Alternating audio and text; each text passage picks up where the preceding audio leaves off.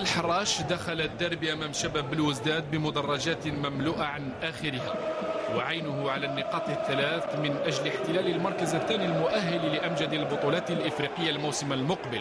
فسيطر على أطوار المباراة منذ البداية. كانت هذه المحاولة من يونس بعد انفرد وسدد بهذه الكيفية التي لم تمر بعيد عن إطار الحارس شويح الاتحاد واصل الضغط والسيطرة لكن هذه المرة عن طريق بونجاح. بتسديدة قوية تصدى لها الشويح وكان في المكان المناسب.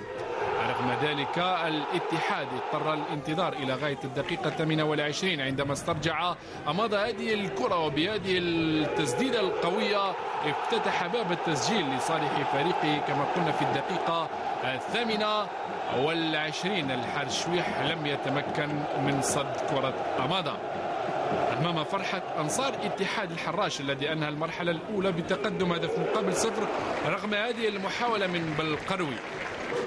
في المرحلة الثانية دخل الاتحاد بقوة وتمكن يونس من الانفلات على الجهة اليسرى ثم التوزيع بنجاح الهداف في المكان المناسب يمضي الهدف الثاني في الدقيقة السادسة.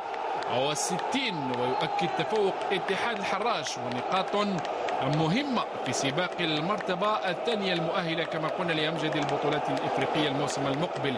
أمور شباب الوزداد تعقدت أكثر بطرد المدافع عبدات رغم ذلك حاول بكرية بهذه المخالفة الرائعة.